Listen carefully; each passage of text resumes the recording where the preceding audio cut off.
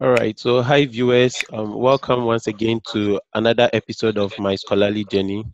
Um, today I have the pleasure of speaking to Kojo Sarfo Gyamfi, and I'm also equally curious. I want to know much about him, so I'll allow him to tell me a bit about himself. Um, so Kojo, uh, do you mind telling me a bit about yourself, where you had your basic education all the way to um, the university?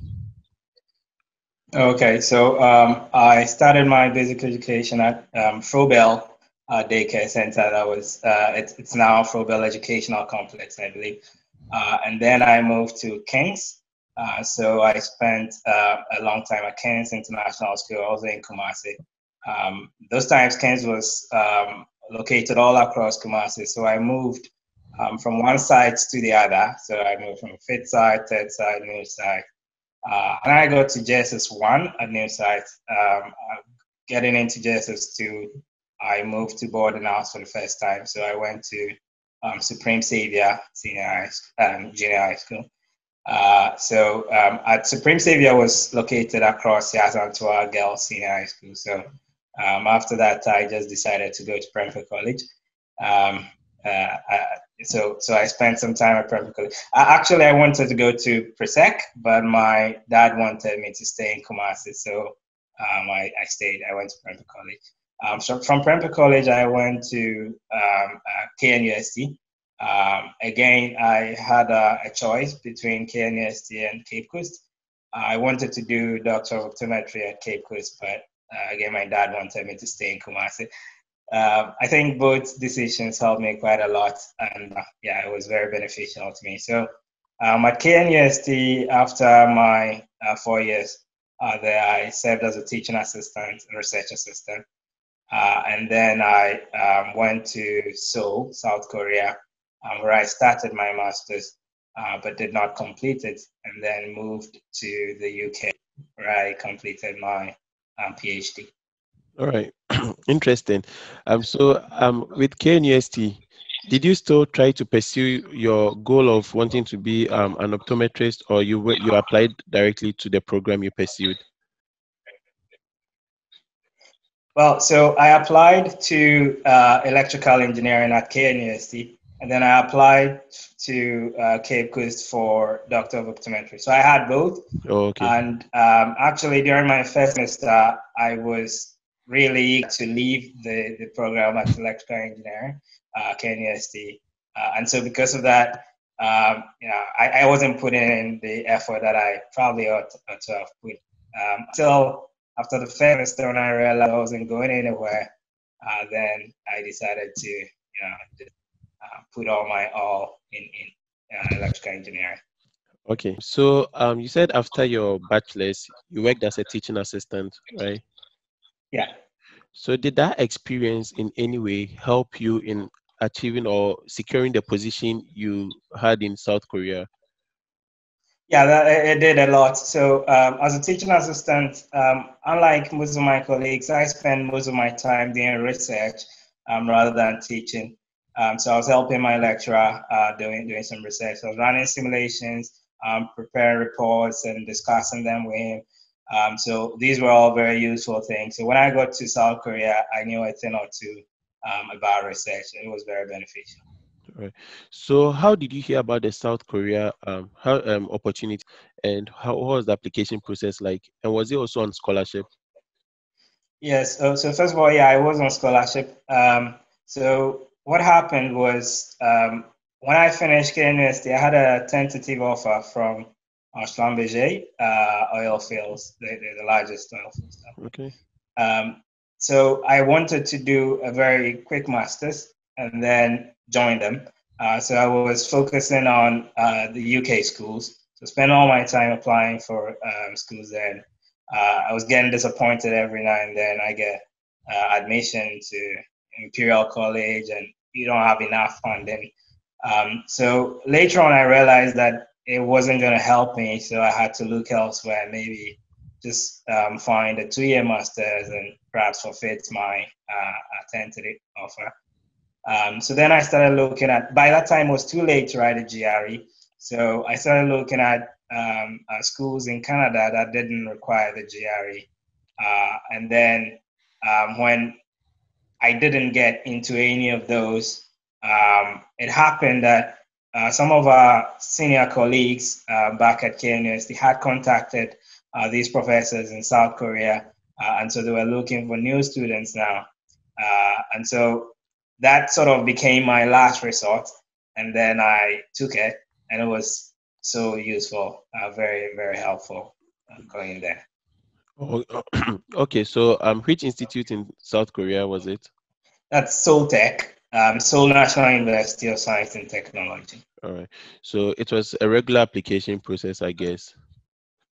Yes, um, regular ap- uh, application through the uh, school itself. Okay. Um, so you, you would write maybe some statements of purpose, and then uh, you just need, uh, I think, just one recommendation from a professor. Uh, uh, that was about it. Yes. And also, when you get the admissions, was it automatic that it comes with funding? Um, so the funding is not tied to the admission. Uh, so the funding decisions come from the professors you're going to work with. Okay. Um, and so um, when they decide that uh, they've got enough funding. So what happened with me actually was that uh, the first professor I was going to work with uh, lost some of his funding. And so he passed me on to uh, another professor who had sufficient funding, even though I had the admission all along. Oh, okay. All right. And you said you didn't finish with the masters. Um, do you mind sharing with us um, your reason for not? Right. Yeah. So uh, in in 2015, I uh, lost my dad, and and and so I uh, lost all motivation to really continue my my masters. Um, when people talked to me, and then I decided to continue. I didn't feel like staying in South Korea anymore. It, it just brought too many bad memories. So I just decided I was going to apply elsewhere. Okay. Uh, by that time, I had spent only about a year in my uh, master's. Uh, so I started applying for a PhD early because normally you have to apply about a year ahead. Uh, so, um, so when I did apply uh, to to this school, then they they took my application and they said, yeah, they wanted to work with me, but they wanted me to start in January instead of September. Um, so my master's was going to end in August of 2016, and uh, they wanted me to start in January of 2016. Um, so I had to make a decision, and uh, one of my supervisors to be, he, he told me that if uh, the objective of getting a master's was, was only a means to achieve that PhD, then um, it's not a big deal if I dropped out of the master's and started a PhD. Oh, okay. All right. So, um, which school did you um pursue your PhD in? Coventry. All right. Yeah.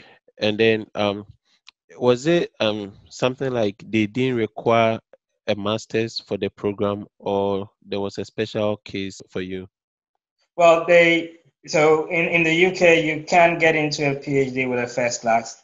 Um, so uh, if if you do have a first class, can move from a bachelor's to uh, PhD directly. So so it meant that I, I had a first class from KNUST, so it meant I could easily uh, qualify. Um, so that was just to satisfy the admission purposes. Uh, but my supervisors were also looking for uh, things like research experience, which they believe I had, even though I didn't have the master's degree um, yet. So those two uh, helped me in getting into uh, all right. So I presume your research experience was mainly from what you had from KNUST or? Well, from my master. So even though I spent one year, I was able to uh, produce one journal paper before I left. Um, and yes, uh, the KNUST uh, uh, research assistantship uh, that I did during my national service uh, was also helpful. But primarily was my research in during my master's uh, because it was uh, sort of relevant to the PhD that I was going to pursue. Oh, okay. All right. And now to your PhD, the application materials. Did you have to just apply to the school and get your funding, or you had to write to a supervisor for the supervisor to accept you before you could apply? Yes. So uh, they have this website. I think find a PhD or so. Yeah. So I um, contacted a lot of professors uh, over there. So um, I did reach out to my supervisor first, uh, and then uh, I had uh, some initial assessments, so phone screen, and then uh, I did some tests. Um, so once those were okay, then I was allowed to um, actually submit a um, formal application to the to the school. Wow. Yes. Was the test like um, something related to engineering? Yes, uh, okay. and a lot of programming. Wow, interesting. Yeah, in yeah in a language of your choice. Okay, so they will give you something like say a task, and you need to do it in any programming language that you want to. Yeah, so you initially have to tell them ahead of time that you want to do it in C, for example. I did it in C. Uh, and then they will get the coding environment uh, set up for you. So it was a live coding. Uh, so yeah, they give you the uh, problem and then you're doing it right there for them to see. Wow. So was it basic coding or it was something that you need to really have like good experience? Oh, I think it was basic. Um, yeah, because prior to that, I was very apprehensive, very because I had forgotten all my C, uh, and I did some quick revision, but it was surprisingly like very basic. Oh, okay. All right. So um, when you got your PhD, you already had funding from the supervisor you had interviewed with, right? Right. So um, the funding is really administered by the university. Uh, so um, so you, you, speak to the supervisor only so that they can accept you f- for that particular funding. Oh, okay. So I had already um, uh, had that acceptance uh, given given to me. Uh, so even without the university sending the official admission letter, I had assurance from the professor that I was coming to Coventry. Oh, okay. Wow, that's nice. So, I with your PhD in a language that everyone would understand, what did you do for your um thesis? Um, it's really hard. um, okay, so um, if if if yeah, so let's say if someone came to me and then they said that um, maybe they have a temperature of say uh, 38 degrees Celsius uh, and so I should decide whether they've got COVID 19 or not. Uh, I'm going to think about it in a slightly different way and say that, well, assuming that you've got COVID 19, what's the probability that I'll record this particular temperature? Uh, this is Bayesian reasoning.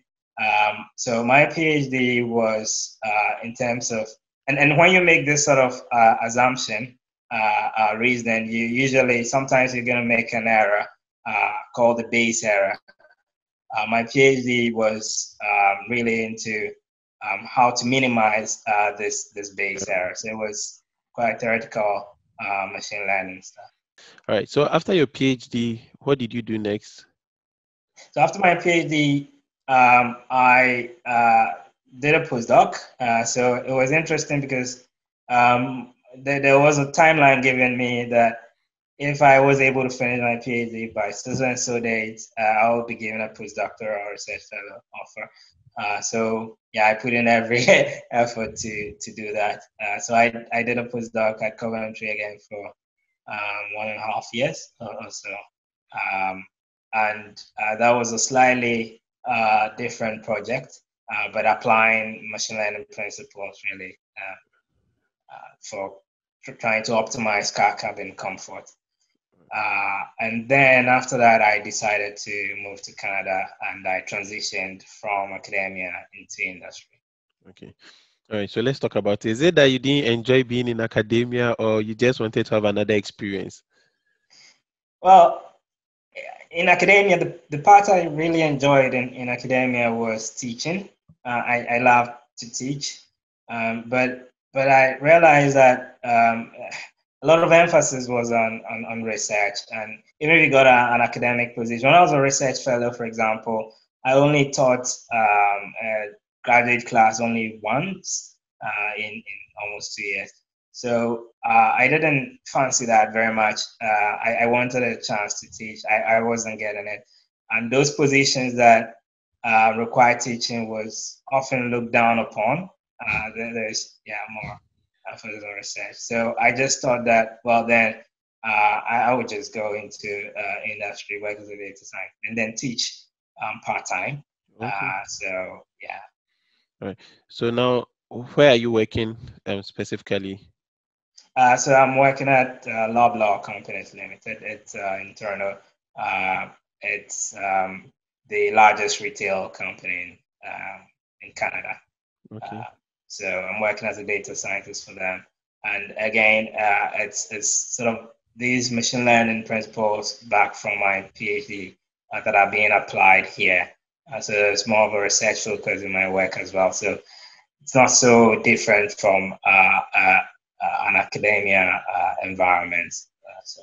Okay, and I want to know something. So when you were applying for the job in Canada, were you in UK and you just applied and the company I don't know probably gave you a working visa or you had family there? How was it? Well, so I first had to apply for permanent residence uh, in in Canada. So it was after I got that, then I uh, got uh, applied for jobs here. And, and did you did you get a residency because of your skill set and your um, qualifications, or anyone can try it and just hope uh, they get the um, permit? It's a point-based system. So yes, your qualifications they give you more points. Your education gives you points. If you have a bachelor's, you have this uh, much points, and and so on. Uh, your English language proficiency, so you've got to write the IELTS, uh, and and then uh, based on the score, you get points for that. Your age, your work experience, these all give you points. So once you have the sufficient uh, required number of points, uh, then you're drafted to um, uh, submit an application for permanent residence. Wow, this news to me. Yeah. I didn't know that. That's interesting. Okay, so after you had the permit, you moved to Canada, and that was when you applied for the job. Yes.